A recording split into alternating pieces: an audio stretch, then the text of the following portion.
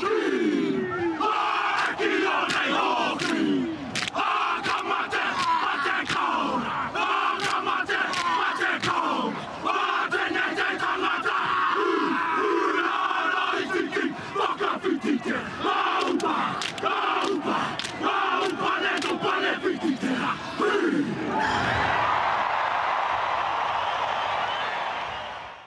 Kia ora guys, welcome back to the Black Jersey. It's your boy Max hosting the channel and the mighty Black Ferns have made it 3 from 3 with an awesome victory against the USA. President Biden will not be very happy since he is a rugby supporter and us Black Ferns fans, let's go World Cup up ahead.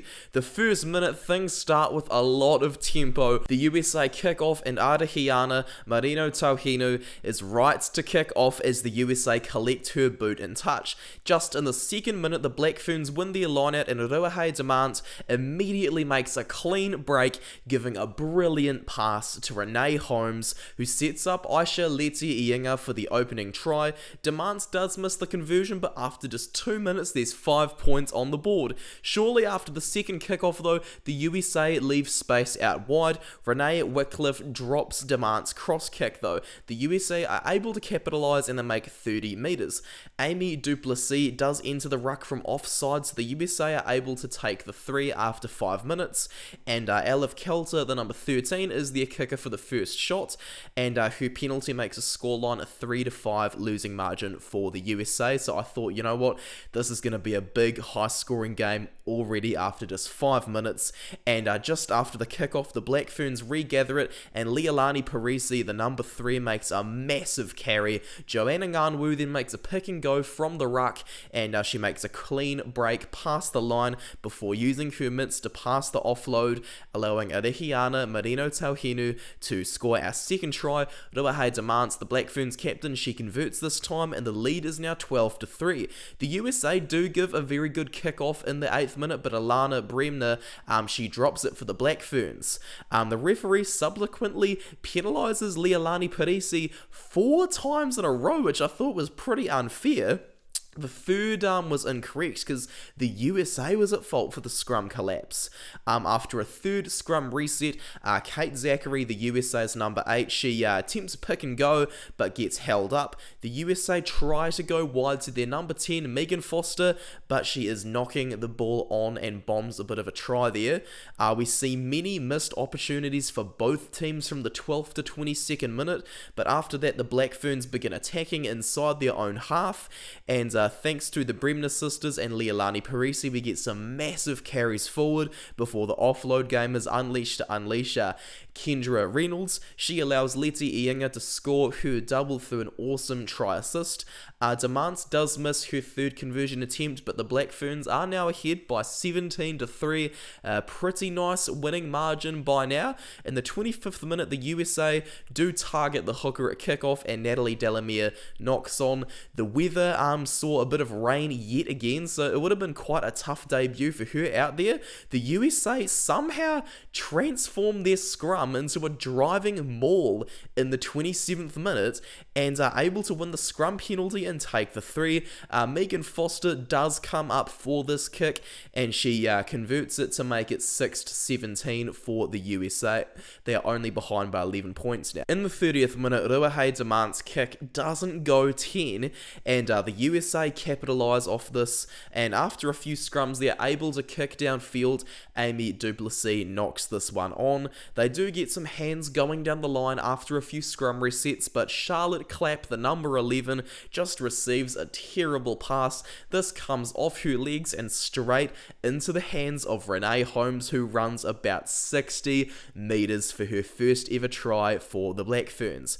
Uh, Ruahei Demant, though, does have to come off for a bleeding nose, and she ends up failing the HIA. Renee Holmes, though, steps up and she converts her own try. Very good for the fullback. Handling errors do let the Black Ferns down again, though. The USA make it to their 22 with some very creative attacking passions. They don't take the three after the advantage ends, though. They go to their strength, the scrum. They did very, very well there. They had a very good number one and a very good number three. Brilliant scrummages. This time, though, doesn't work. The Black Ferns are able to make it out, and Sylvia Brunt runs past the USA's 22 thanks to some awesome offloads and strong carries before Carly Waters is able to strip the ball and get the USA out of jail. A good performance from her in this match. Uh, the Black Ferns attack is regenerated in the 39th minute though, and they are able to get some pretty strong carries going. Rachel Johnson, the USA's number 7, is penalised for a second time, and uh, this allows for a Black Ferns driving maul. Um, Marino Tauhinu then gives an awesome pass off the maul to Sylvia Brunt, the 18 year old, who runs in to score her first ever try for the Black Ferns. Um, Hazel Tubic's just come on. She does miss the conversion, so the uh, halftime score is 29 to 6. Um, at halftime, the hometown hero Krystal Murray comes on for um, her home fans in Northland, whereas 31 year old Lucy Anderson comes on at number 18 for her debut. A very inspirational story, just telling everyone don't give up on your dreams. The USA have a pretty good attacking start to the half, especially as uh, Tubic's cross kick attempt does get charged down by Rachel Johnson. Post scrum, we have a breakaway by Kate Zackary. Once again, a very strong performance from her. Uh, the Black Ferns do brilliantly to shut her down, though, and uh, they begin generating some go forward thanks to um, Liana Mikaele-Tu'u, um, her older brother Marino plays for the Highlanders. Uh, she does knock on, though. The USA do attack for a few phases until Renee Wickliffe makes a brilliant intercept. I was so frustrated because had the USA not been under advantage, she definitely would have scored. Um, the USA's attack in the 49th minute spoiled thanks to a Chelsea Bremner turnover though. The Black Ferns are able to make it to the USA's half while under advantage. Tubic throws a stunning pass which sends Kendra Reynolds into a massive gap. The number 7 goes on to beat four defenders and makes a huge celebration after she scores. Tubic does convert this time and the scoreline is 36 to 6. Helps that it was under the post unlike her previous conversion which was um, from the side sideline, sorry. The USA's kickoff bounces into touch. Uh, Georgia Ponsonby does come on to give the Black Ferns a liner inside their own half, and this one works very well. The kick downfield is knocked on by the USA. Um, they're able to get a turnover and kick downfield, but the Black Ferns get a breakout run thanks to Ayesha Leti-I'iga, probably the player of the series at this point, and uh, she allows Renee Wickliffe to run, make a clean break, and get 40 meters. Um, Chelsea Semple, who's just come off the bench, is um, on and uh, runs a pretty good support line. She attempts to get the one last offload away, but uh, Rachel Johnson, there again, she knocks the ball on herself. So the Black Ferns are the one with scrum in the USA's half. After multiple scrum resets, the Black Ferns go wide. Arihiana Marino Tauhinu, uh, she gets the ball off the base of the scrum and she just gives an awesome flick back to Ayesha Leti-I'iga, who runs in to get her hat trick. Tubic converts this time, and the scoreline is 43 to 6, a pretty massive margin with 20 minutes to go now. The USA um, do get a scrum inside the Black Ferns half in the 61st minute due to a Mikaele-Tu'u knock on. The reserve props, though, um, probably not as good to say the least. Um, the Black Ferns are able to win the scrum back, and uh, Hazel Tubic makes a brilliant kick downfield that allows the Black Ferns to get a line out just outside the 22. Um, we do have quite a lot of set piece resets, which was a bit annoying for the last uh, parts of the game. Um, in the um, 70th minute, the lineout is reset for, I think, the fifth time, and uh, Ayesha Leti-I'iga loses the ball behind herself, trying to catch the ball mid-air thanks to Tubic's cross kick. Um, the ref rules the ball knocked forward, though, so what we thought was Renee Holmes' second try ends up getting disallowed. Um, Alev Kelter in the 74th minute then leads the charge for the USA. She makes some massive hits while she's carrying carrying.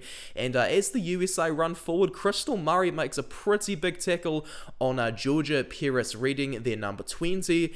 And uh, this is ruled a yellow card as um, as uh, Perris-Redding's head kind of like tilts down towards Murray's arm, and uh, the Northland crowd. No, they did not like that one, bro. Um, they were pretty angry that Krystal Murray got yellow carded and put in the sin bin. Um, after four minutes of attacking by the USA in the 78th minute, though, uh, the Black Ferns are able to get the ball running, and uh, Chelsea Semple runs into a brilliant hole set up by Kendra Cocksedge, who had just come on, and uh, Semple sent Renee Holmes off on a 30 metre run before she just gave off the final pass to Renee Wickliffe. Renee Wickliffe scores thanks to Renee Holmes's try assist, and Hazel Tubic converts the try to make the final score 50 to 6. So the Black Ferns got a pretty big winning margin this time around. Um, one thing though, I was once again very disappointed by the crowd.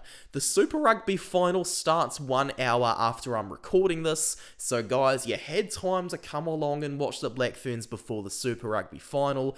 So um, yeah, that was pretty disappointing for me to see. I was also disappointed to see the USA were kneeling for their national anthem in comparison to the Black Ferns who stood up tall, strong, and proud of their country. There was nothing bad at all to say about how the Black Ferns just showed all this pride for their country. That haka too, awesome, so much passion. What a pre-match entertainment piece by that haka. Thank you so much for watching this video, guys. Much appreciated. If you're keen to support the Black Jersey elsewhere, you can check me out on Instagram, check me out on Twitter, and um, as I showed before in the video, a big thank you to my patrons. Hit the subscribe button, hit the notification bell, and like this video. Thank you so much, guys. It's your boy Max, and I'm signing out.